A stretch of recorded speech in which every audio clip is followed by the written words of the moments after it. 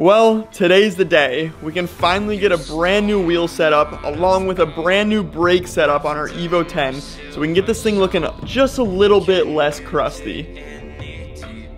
What's up guys? Welcome back to the channel. It's an exciting day because we're finally gonna get a set of wheels on the Evo as well as our freshly powder coated brakes, new rotors, new pads.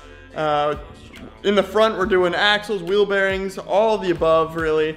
Um, ball joints, everything to make this thing perfect, as perfect as we can in the suspension department. So, uh, besides coilovers. So uh, I'm gonna start with the rears tonight because I don't have a whole lot of time. So tonight we'll get to the rears, get the rotors, pads, calipers uh, done. I still have to build up the calipers with the new seals because we stripped them all the way down to get powder coated. So I have a new kit so we can rebuild those and get them nice and fresh. And then uh, we'll get them slapped on the car. So let's get straight to work.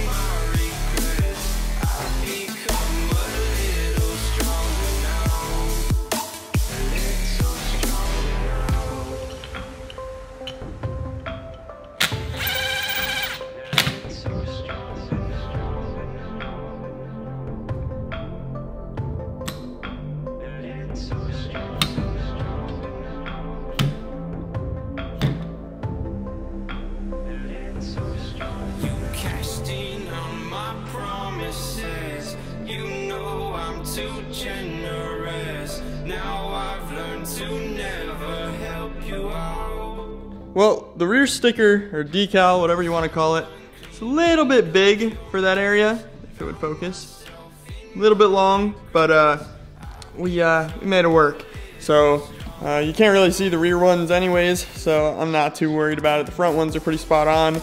Um, but yeah, so this sticker, it's kind of like a, I put it on my Instagram story, trying to figure out which ones to run. And this one's kind of like a, little sparkly, kind of cool. I don't know. Uh, the other one I had was just the normal red, but I figured this would go pretty good with the car and this color, so we're gonna run them for now. We can always change them out with, uh, with the other ones if need be, but this brake caliper is complete. I did this one just kind of without walking you guys through it, so now this one I know exactly what I'm doing, so I can uh, walk you guys through how to build one of these. So once we have these separated, I'm just gonna go ahead, and hit it with a blast of air, make sure there is no sand in there, and they're as clean as we can get them.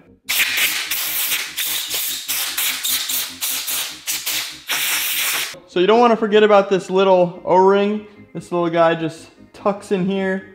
If you forget that, you're gonna be leaking good amount of brake fluid, so don't forget that guy. So here we have our fluid seals and two dust seals. These are gonna go in the caliper. So first we're gonna take our fluid seal and just gonna tuck it in the groove inside the caliper. Pretty basic.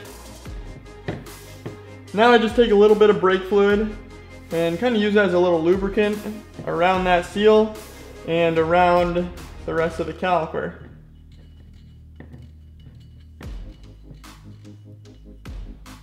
Now we can go ahead and take our piston, get a little bit of brake fluid on that guy, where it's gonna mate with the seal.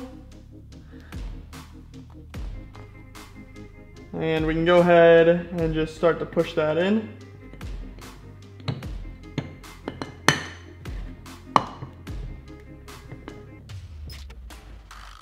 Something like that. Now we can take our dust seal, wrap it around the groove in the piston. Kind of like so. And then just go ahead and push your piston all the way in. Just like that. And then you can push your dust seal into its groove. And now this one is good to go. So now it's the same thing here. Take your fluid seal, get it tucked, take the piston, in, and your dust seal.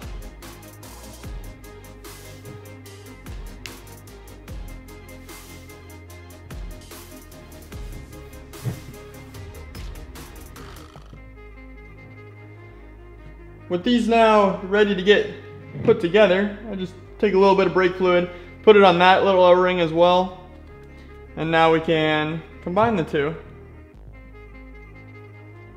Then go ahead and take your bolts, and go ahead. Er, er. There we go.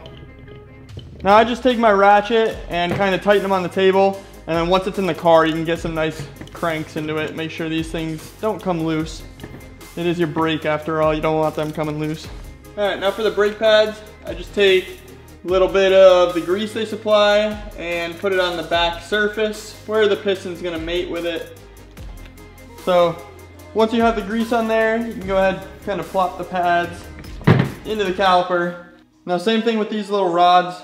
I just put some grease on there and uh, just kind of helps it go through. Once you got those two little rods in with our little spring, you can just go ahead and tap the back sides of these until they're all the way in. Last thing we gotta do is go ahead and get our little Brembo sticker on there.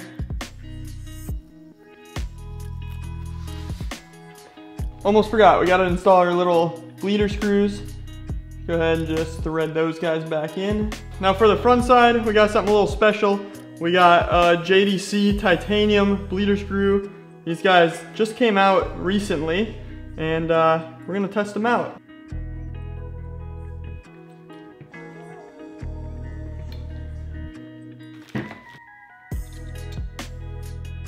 And there we have it. So our caliper is 100% complete and ready to go on the car. And we got our JDC titanium bleeder screw there, which looks so freaking good.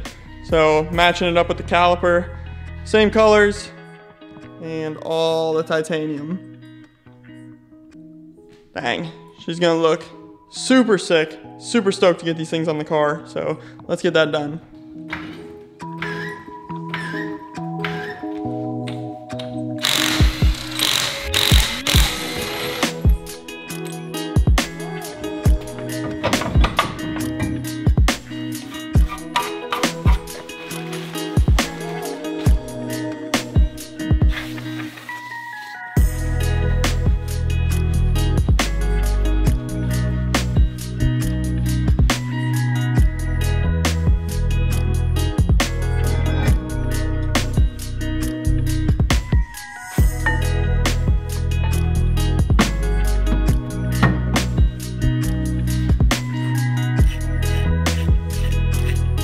Got the passenger side rear caliper on, and my gosh, that looks good. With a finally a fresh rotor, no more rusty boys, and uh, yeah, we are solid. So these JDC brake bleeders are on the site, and remember if you use code BSCHOENBORN at checkout, you're gonna save 10% off your order of titanium goodies, so don't miss out there. Let's go ahead and finally reveal the wheels that we're gonna be slapping on this car. Now before I do that, I just wanna say some of you guys might hate me, but I have my reasoning behind it, and they're gonna look good either way, so I don't really care. But uh, yeah, let's bring them out.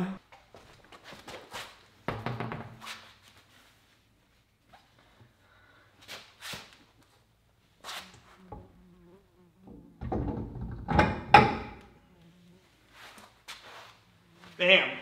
Well, here we have it. I did go with a set of ESRs, but I'm not mad about it because these things look super sick and ultimately, with this car, I don't plan on keeping it.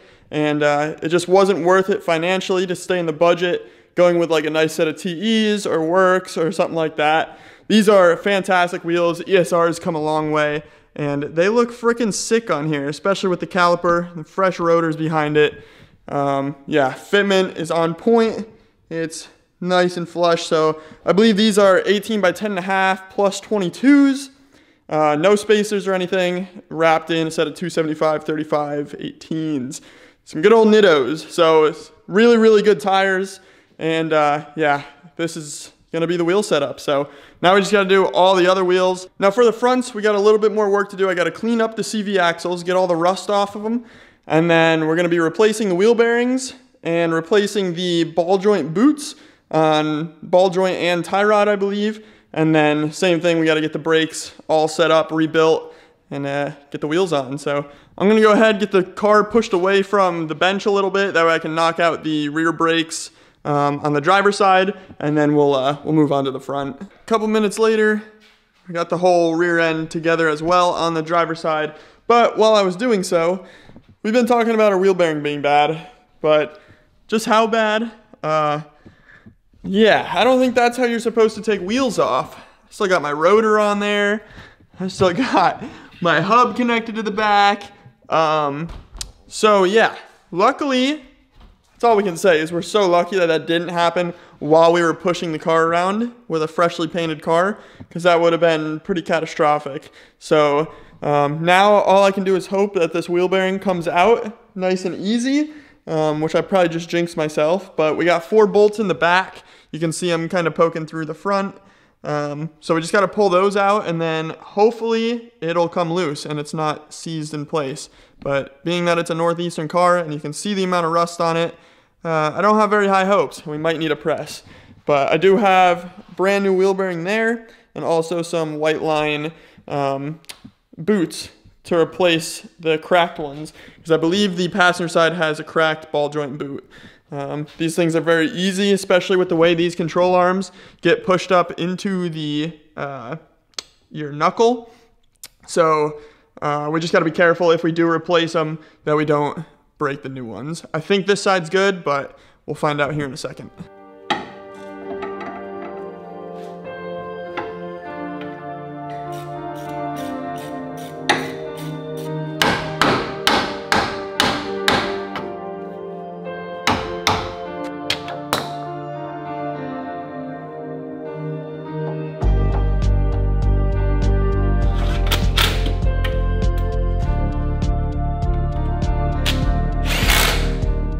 I've now gone ahead and cleaned up the mating side of our axle where it's gonna mate with the seals in the transfer case.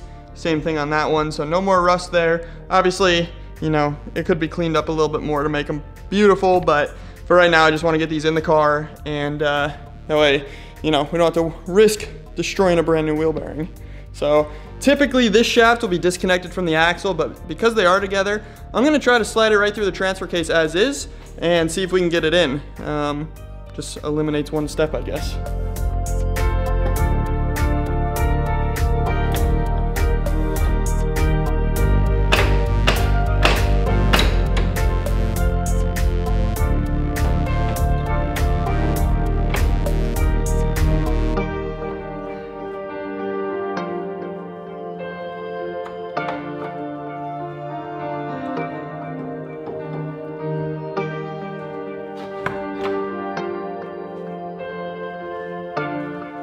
I did end up having to take the little half shaft off the axle to actually, you know, get it seated in there, but it's all good to go now. Everything is nice and tight and we're ready to get the brake set up, put together, which I already have set up on the table over there. So uh, yeah, let's go ahead and get the pistons in there. Same process as the rears, just uh, two pistons per side. Or should I say two pistons per side of the caliper. Four pistons total, so let's go ahead and get that done.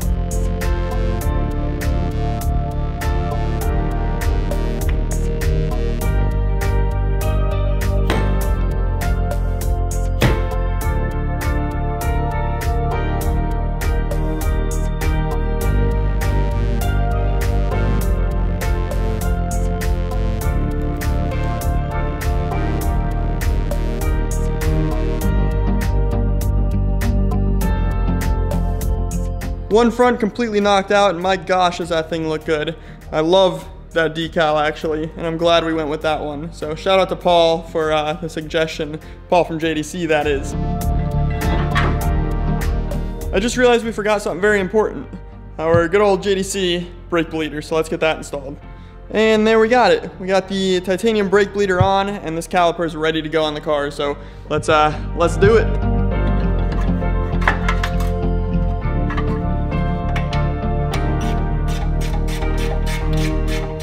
Dang, that looks so freaking good. I love it. Now we can get the wheel on, and then that's one less side we have to worry about. Last thing we gotta do is the front passenger side. Uh, same thing, wheel bearing. This one we gotta replace one of the boots on the ball joint, and then uh, yeah, same process. So uh, yeah, let's get the wheel on, and we'll see how it looks with the black frame. I wish I had a fender so we could check fitment and everything, but that is still out at paint. So we'll have to deal without it for a little while. Yeah, that's a thick boy right there. Looking at the rear, perfectly fit. I'm hoping that once we get the Varis fenders on here, it's also gonna be like a perfect fit. Um, yeah, super sick. It's got quite a bit of camber on it right now. So we're definitely gonna need an alignment, but uh, yeah, overall it's definitely drivable like that. Seen way worse. and uh, yeah, looks so freaking good. I want to get it outside so you can really see like the calipers and everything behind it, but um, yeah, I dig it. Now we just got to do the passenger side. We'll be wrapped up. Well, things escalated pretty quickly. We ended up just taking the whole knuckle off because obviously this boot is torn at the top, as you can see, and then the bottom also is torn. So we're gonna be replacing this guy this is absolutely demolished. And then while I was going through that, I noticed that the boot on the tie rod, uh, it's kind of hard to see because it's in the back, but it is torn right here. So we're gonna be replacing both of these. So I have two brand new ones from Whiteline and then also some bushing lubricant from them as well. So it'll be nice and fresh and uh, ready to rip.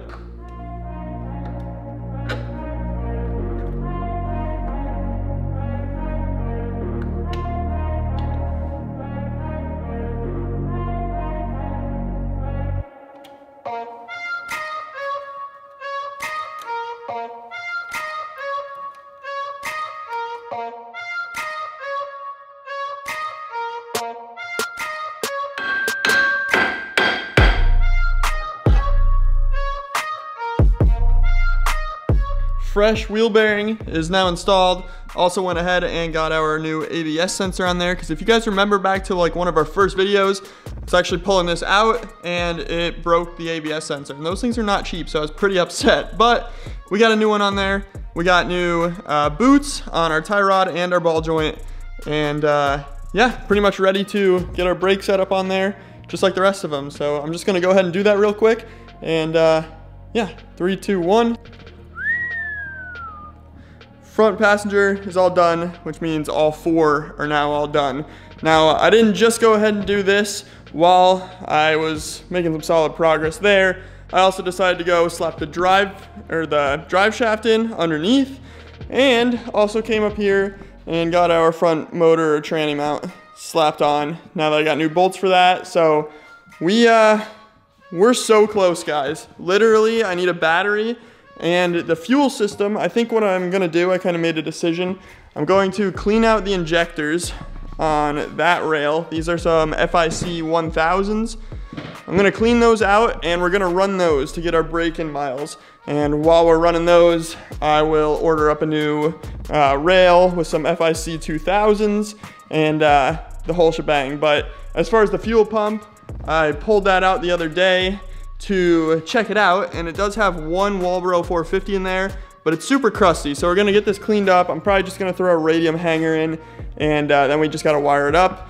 We'll be Gucci. So literally we need a battery. We gotta get the fuel system back in, which shouldn't take more than a couple hours. And then uh, just gotta load this up with fluids, get some oil, trans fluid, and uh, transfer case fluid and then uh, we should be running. Oh, I gotta get the serpentine belt on. I did order up a new one and it is here, so we'll get that on tomorrow as well. But other than that, yeah, we're wrapping this thing up, get some intercooler piping, radiator, the basics, catch can. Now obviously we still gotta get the front clip on with the radiator, get all our intercooler piping and intercooler on, but that stuff doesn't take too long. And honestly, I could probably, if I spent my entire day on it tomorrow, could have this thing up. The only thing I don't have at the house, and it's ordered, but it's not here, is our transmission fluid. I have our T-case fluid, I have engine oil, I have the filters, I have all that. So uh, yeah, just waiting on transmission fluid. Should be here this week and uh, we should be good. Also fittings for the catch can and the AN lines. I'm waiting on those. Uh, I ordered them like a week ago, but good old eBay shipping from California with DHL. Not, not ideal, but they'll get here eventually. I'll probably pick this video up tomorrow and uh, we'll make some more progress. So see you then. Okay, it is a new morning, and what I'd like to get done today, I want to get a new fusible link box on, because if you guys remember, they actually just put a jumper wire in instead of just replacing the box. I'll show you guys what I mean. Right here, you can see that fuse all the way to the right is blown in there, and they just put a jumper wire, so we're just to replace that box. They're nice and cheap. I also want to get the serpentine belt on, and maybe an oil filter, the oil cooler, uh, get that all put together, maybe even put some oil in the engine and uh, you know, see what we can get done. So let's start with that fuse link box. Super simple, just a couple wires and couple, couple nuts and uh, should be good.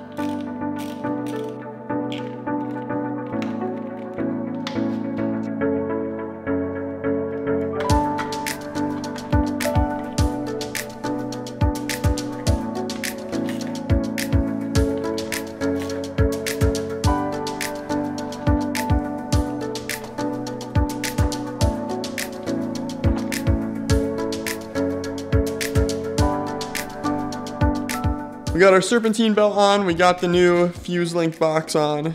All nice and clean. I can actually get the cover on there now if I end up running the red cover. I know it doesn't really go with anything. So uh, then we got the oil pressure sensor kind of routed where it's got to go. We got the oil filter on, the oil drain plug down there. I guess I don't have one. so I just went ahead and ordered up a drain plug. Uh, yeah, we're gonna have to wait on that unfortunately. Now, because we're pretty much just waiting on the rest, I do have an injector cleaner coming in uh, this week, so I'll get the injectors clean and then we can get those in. Uh, I do want to jump inside the car because if you guys remember, the previous owner, don't mind the pillar laying on it, but the previous owner had like that little death knob on the steering wheel and the steering wheel is kind of torched. So I did go ahead and pick up a new one. I've had it chilling here for a while. It's actually nice and dusty now. So we're gonna slap this guy in and uh, then we don't have to deal with that death knob thing.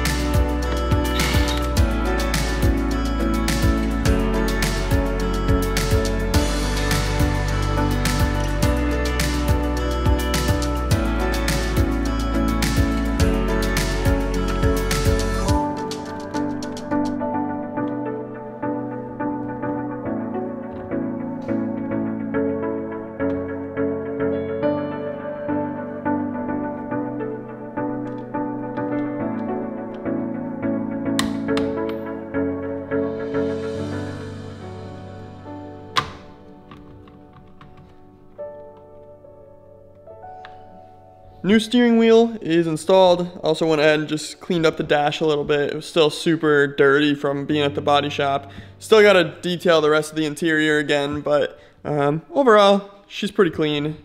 Not too shabby. But that's pretty much gonna wrap up this video. The first start is probably either gonna be the next video or the video after. I'm gonna wrap the roof probably today and uh, whatever else needs to be vinyl wrap black and uh, we'll go from there. But just waiting on a few more things and we'll be able to crank this thing up. So I'm so excited, guys. Like, I know I say that in every video, but I just want to be able to start this thing, hear it, and uh, back it out of the garage under its own power because uh, I've, I don't think I've actually ever heard an Evo run. Well, I guess I have. I've heard an Evo, but uh, yeah, I don't know what this thing's gonna sound like. We're gonna figure it out together, but I'll catch you in the next one. But until then, peace out. See y'all later.